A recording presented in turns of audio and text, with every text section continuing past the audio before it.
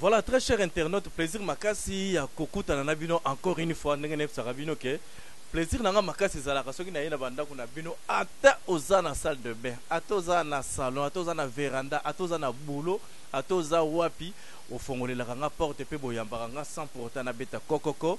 du moins soki bomoni Charlie balaka na ye nayelaka bino gaieté joie consolation ba news ya bien et surtout nalingaka mingi mingi ko recevoir bato toko traiter na bango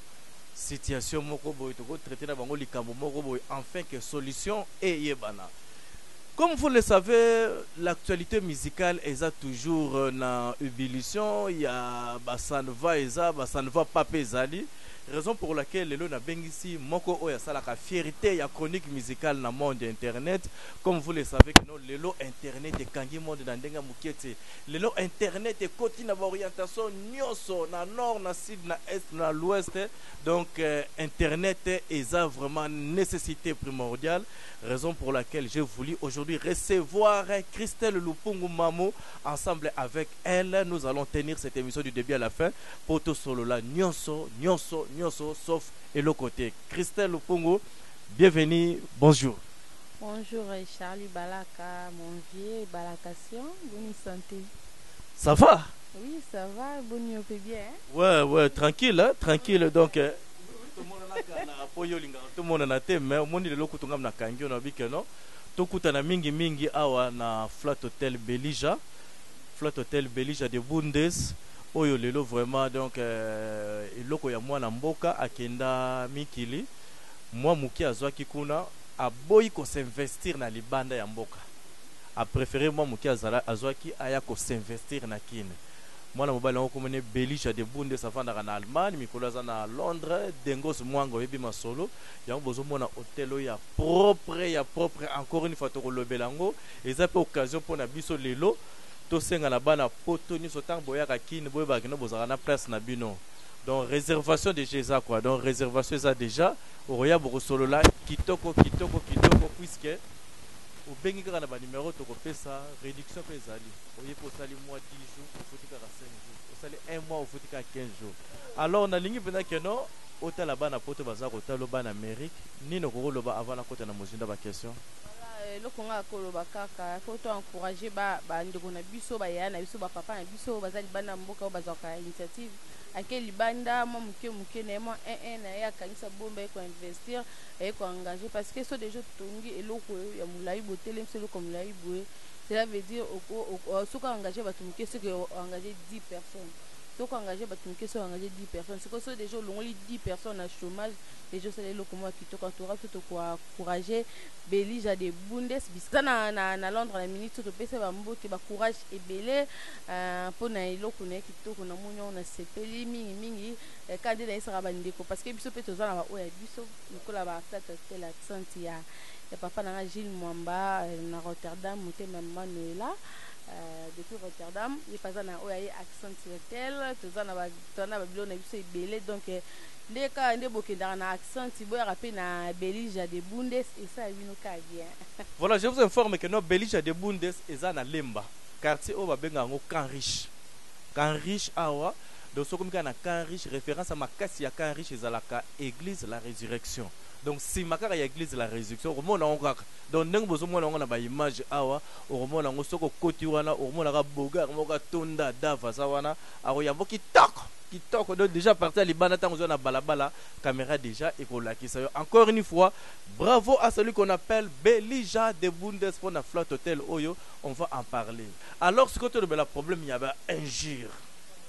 Hum Christelle Lopongo Mamu c'est à dire b'injures ba chroniqueurs ya musique niveau bakomi kofinga devant camera donc tu peux pas imaginer puis kofinga wana eza kutu te crech mais nazo pena kofinga b'insanite moto pena azo finga b'insanite okomona peut-être pe musicien moko azwi pe mwa porte parole na ye moko boye bien representant na ye moko boye aleki na TV azo finga pena b'insanite pe na debut emission alobi que non bolongola bana po lelo Ba kombo ya ba trangalaso de tshukele ngingo oyo nako tanga lelo ekipe bana te bolongola bana analyse no par rapport à ça. En tout cas nga esalaka nga pasi po tolandanaka biso na biso vraiment Charly balaka abuaki na confirmation na tali B-trois na tali na moni Franck Stemay abuaki Africa info na tali Trecy Mbelanga ya Glody Diasuka elengi ya Congo na tali na talaka nanga ba emission mais otala okota okota na site moko boye na chaine moko po mingi mingi ezalaka ba ezalaka ba chaine ba chaîne youtube okota na chaîne moko boye e eh, oyoka donc bainsulte moko donc moto abandi kofinga kofinga na mwa ah, na zape na obebisa bamega na ngai inutile kaka nde ngai nazapa yango kaka nde bato nyonso bazapa yango sikoyo bato mosusu oyo bazwaka temps ya kotala yango en tout cas eza kitoko te na bandeko na biso ya média bozosilisa biso valeur na sens nini eza na baplace moko boye neti nga bamama na bapapa ba soutenir nga na ba mama ebele ba benga nga na ba papa ebele sikoyo lelo ba moni nga Christelle na simbi micro na bandi ofinga donc na bandi na nga vraiment kofinga ba bêtises na fingi na fingi na fingi après na sisi lobi ba moni nga na telemi na leader mo ba munene baloba nini ba leader wana nde to encourageaka bango nde bafingaka bato en tout cas esalaka nga mpasi komona ndeko moko ya media ya mobali ako azwi afingi moninga nde mwasi otali oregrete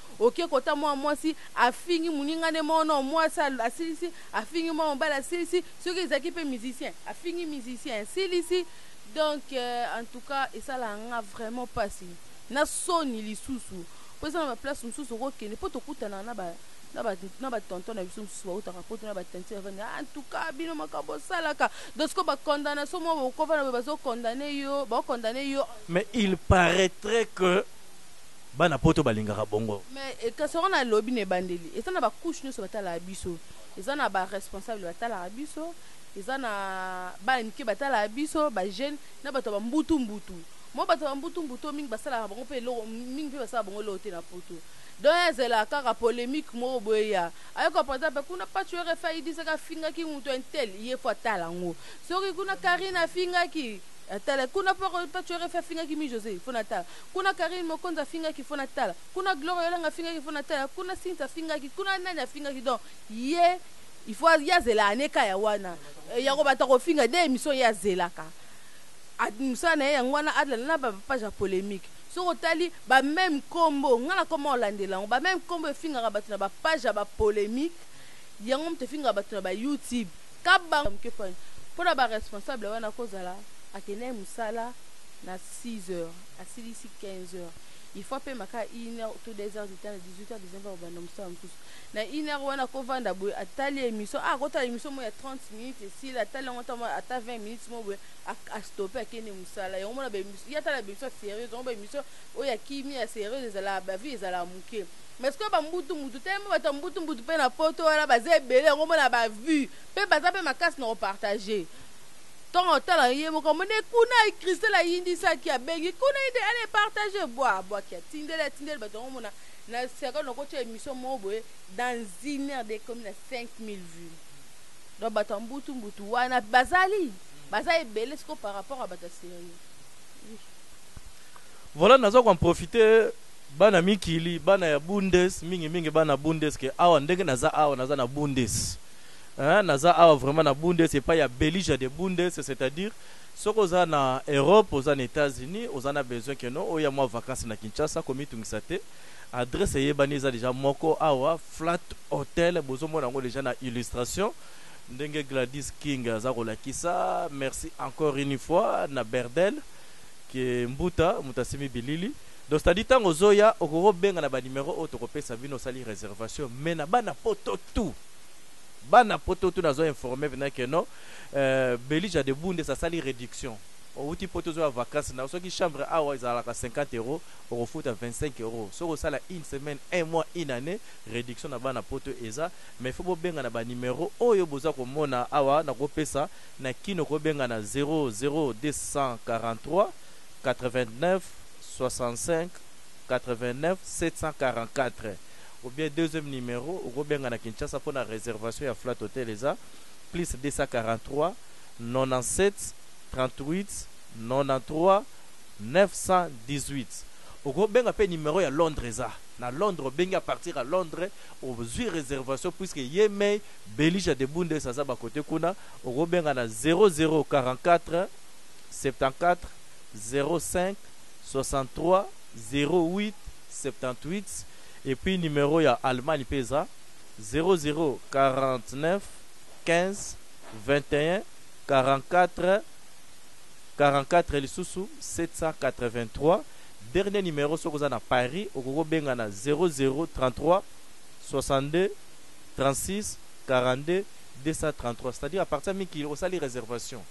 donc ba pesi yo makambu tout ofuti kaka neti kaka par exemple 100 dollars chambre soki eza ya 100 dollars yo ofuti 100 dollars pour deux jours soki osala une semaine yo kaka ba calcul obetama donc c'est à dire flat na bino ya kitoko bo mitungisa mitungisa lisusu te oyo eza adresse ya bana mikili bana etats unis bana asie meme bana kini pe donc po eza na kini quoi encore une fois toza kaka na sima ya resurrection eglise resurrection eza na camp riche na lemba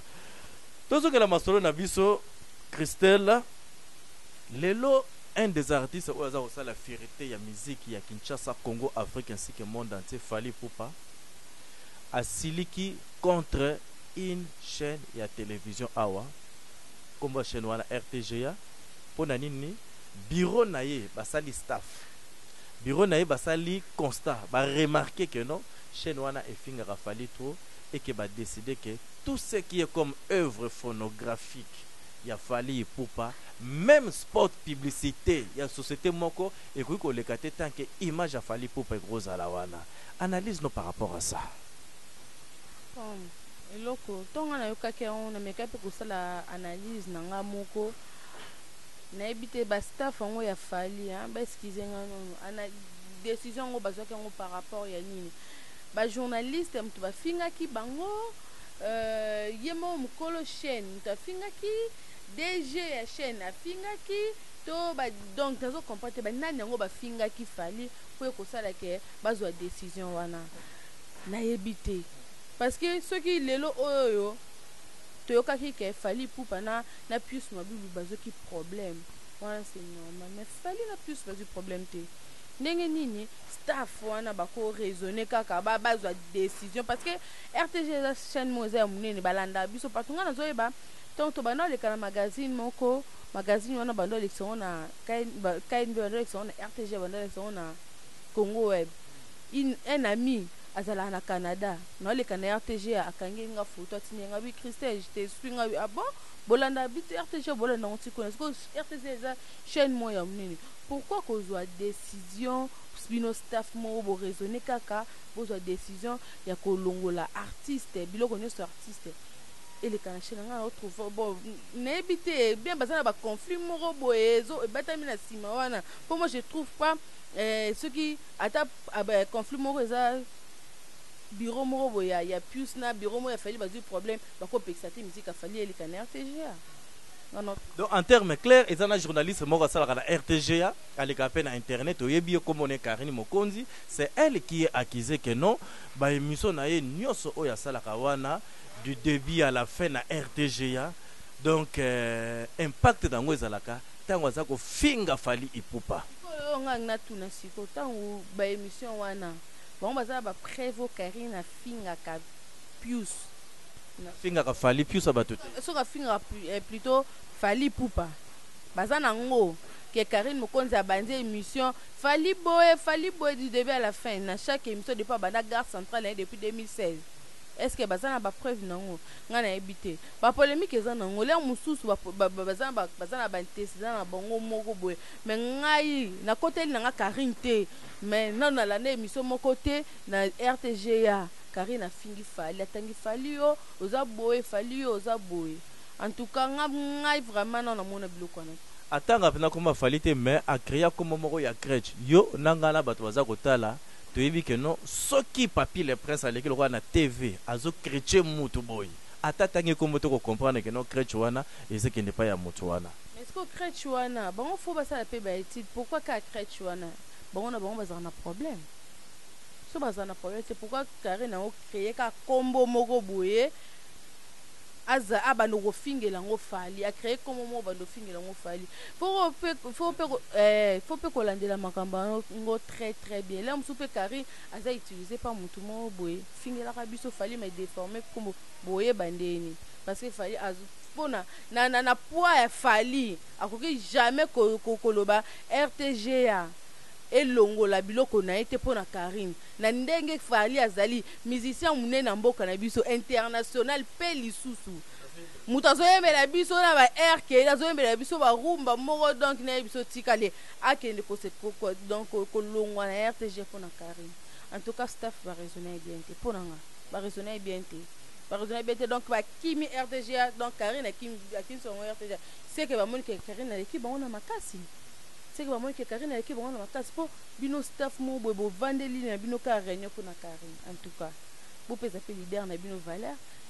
est ce que tangu decision wana ezuamaki approuve par ye moko Fally wana nga pe na yebi te na yebi te soki oza information soki eza approuve par ye moko Fally parce que na moni ba publication na ba face na ba reseaux sociaux mais na to mona publication moko boye na journal moko ba journal na biso ya presse ecrite lelo na temps awa publication moko ba sali que Fally na Pius ba sololi ba yokani Mais wana wana ezalaki kaka publication toyebi te soki eza kaka ya bikomakoma parce que biso pe ba journalistes pe ya presse ecrite pe misusu baza pe na bikomakoma eh na mususu ba basali mua bikomakoma kaka po bateka kaka journal wana toyebi te soki eza ya solo que Fally dejà na Pius bayokani il parait que Carine Mokonzi aza suspendu na RTGA donc tellement eza ba eza ba rumeur moko ezo circuler depuis tongo na nini na ba reseaux sociaux pe na ba journal ya presse ecrite to confirmer soki Ba suspendre carine na rtga dimanche soki tomoni dimanche aleki te ce que aza suspendu ya solo mais en tout cas nga namoni esta fana ba raisonner na bango malamu te hein. Na meme ligne ka ya masolo ya Fally, Fally a part rtga oyo staff na ye, staff na ye balobi kutu bango te mais eza maitre avocat nde mutu asalaki lettre kende otika na parquet. que non interdiction esalama par rapport à tout ce qui est comme oeuvre phono. Vieux Nao alobi aya kofukama ela biso pe alobaki wana ndenge ya ba jale yo zonga solo komisa ngo botela ngo pe ranking eza malamu te je trouve pas eza eza normal te. Voilà encore une fois toko pesa mbote na Belija de Bundes aza kotala biso na London mikolo aza na London tobosani te Dengos Mwanga motema ya Nadine Manius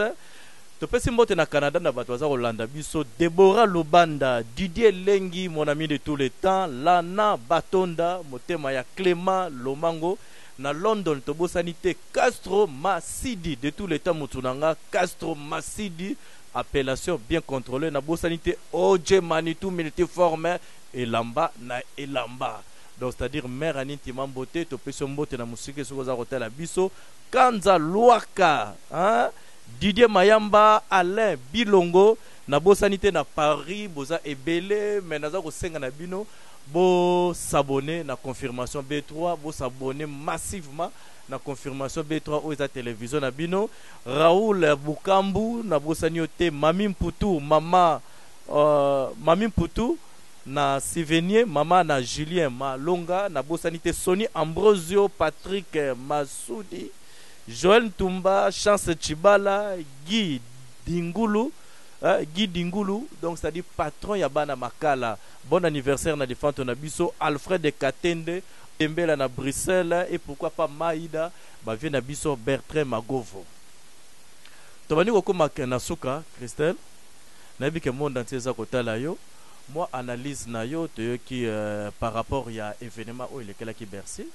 C'est à dire maitre naye akufaki, beaucoup des speculations, Bercy na prison, boye na boye, analyse no par rapport ya evenement wana, yo mutu o geraka chronique musicale na monde internet. Euh en fait neti dossier ya Bercy ya Richard euh ba speculation vraiment eza ebele moyen nalobela yango vraiment vraiment eza te parce que eza dossier moko eza ezo mata ezo kita nga navanda na ngiri ngiri Nayoka ebele kande na vanda parce que nga par musala nazala ka na ndaku eh naza na ba petit na ngai na na bato ebele bayaka se omoni boye ti nga jour bercy garçon na salaki accident ka na vandi ka na ndaku boye hey, eh, sœur oyoki te kuna eyindi bercy atuti moto atuti moto bato mosusu eh, te bercy moto atutaki te bercy moto atutaki te moto mosusu moto atutaki te kaka bango na bango donc ya dossier moko boye eza eteme eza glissant eza eh, faut oloba yango avec beaucoup de réserve parce que lelo mosusu nayebi na nga verité mais nakomai nakomai naloba yango na, na media eza te ntongo oya koloba yango boye baya kolandela o oh, alobaki parce que biso toya bato ya terrain toyebi makambo yango nyonso ndenge elekaki yango lokwa deya eza na maboko ya justice justice emo ekataka makambo yango Voilà toko continuer liste ba mbote puisque bana poto boza ebele mais encore une fois encore une fois nazo rappeler bino que no mikolo yo adresse eza kaka moko donc euh, flat hotel Belija de Bundes c'est-à-dire euh, na Carish juste sima ya église la résurrection esika ya kitoko ya kovanda donc bana poto bo tango bozo ya kin Adresse eza moko il faut ko benga o se reserver et puis ozui reduction no a 50 pourcent. Na ya Theo Mayila, na Geisha Mungani, na bosani te Jessie Bolela, Olga Motema ya Djiken Pedro, Charlène Mumbala, Papy Adumanisa, Bienvenue Yanga Adumanisa, Yves Matuti petit na ngai na Etats-Unis, na bosani te Luc Makanaki na Autriche, Mère Betty na kati ya Bundes, Madame Betty respect. Na bosani te Maitre Yancine Ngonda, Yancette Kubalay, Yves Jose Kumbalay, Joel Korando, Alexis Ngangala de tous les temps nayebi ke kala mingi tse toko kutane na kin.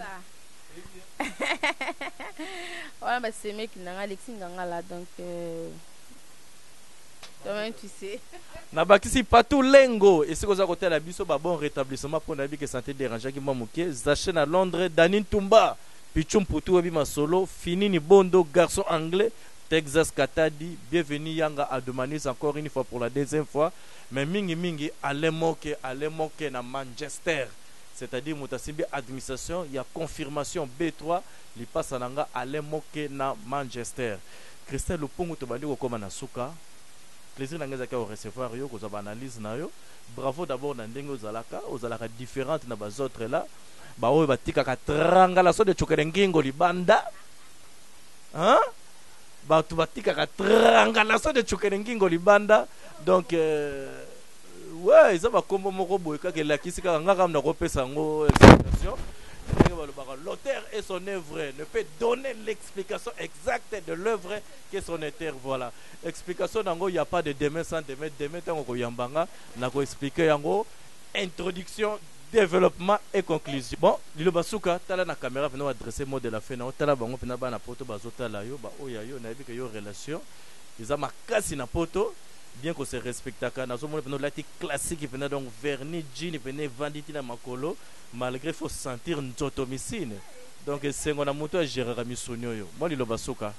Voilà liloba suka ezalaka te mot de la fin kaka pona emission ya lelo liloba suka donc ezalaka liloba oyo mutu alobaka après akati pe make libela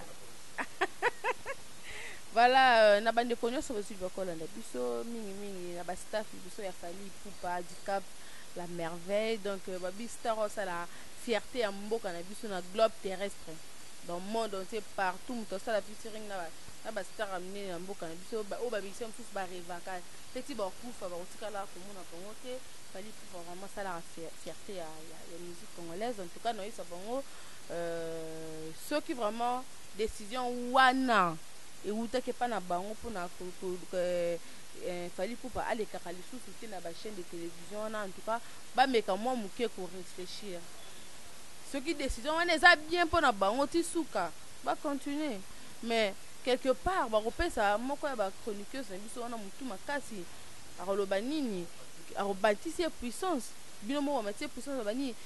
nga nakimisa kutu leader ya munene na rtg donc bokopesa ye susu courage ya kobanda lisusu kofingaka lisusu makasi po bokimaka ye kaka po ntango deja akimisi fali lobi lisusu akimisa jibe akimisa Ferre akosi akimisa werra pe ba musiciens nioso bakosila na rtgr donc en tout cas na ba staff ya fdc mobimba soki decision na bino ezalaki bien wana etali kaka bino boye mutu atindaki bino bomeka mua muke ko reflechir bo reflechir soki eza bien te eza bien te dejà bozwaki bokutani na pius mabilu aza vieux na bino aza mutu na bino parce que biso toyebi Kala ba chaines ezalaki ebele te ndenge ezalaki ndenge ekoma mikolo oyo ba chaines ezalaki ebele te mais tangu droit chemin ebimaka mingi tobanda kolanda clip ya droit chemin wana nga nazo yeba nazali na 6e 6e des humanités tobanda kolanda yango mingi na RTGA mingi ba clip ya Fally tobanda kolanda yango ba liputa wana tobanda kolanda yango mingi na RTGA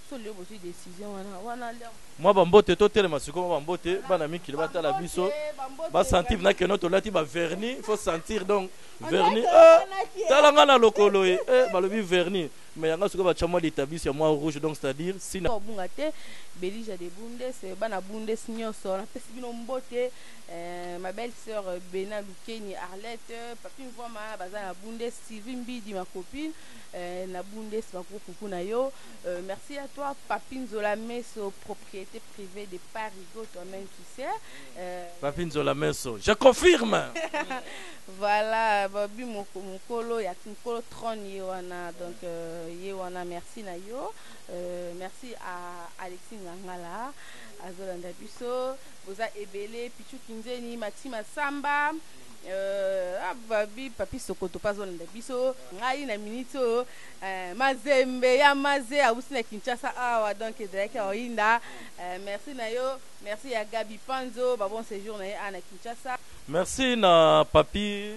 Nzola Meso, c'est-à-dire tata Nganda Ntaba, nkolo misuni donc veut dire papi Nzola Meso na peso bambote trop na babunde, c'est-à-dire beau frère na ngai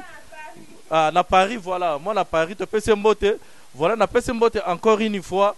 Donc c'est à dire soki oye awa na Belija de Bundes obanda okutana na mwana mobali wana bogare moko atonda un americain na camp riche na Belija de Bundes c'est à dire ye wana bozomona garçon moko paisible doux pacifique donc ye nde moto asimbi ba affaires. Merci à trop encore une fois à titre de rappel vraiment Dengos Mwanga oyebi adresse eza kaka moko Belija de Bundes.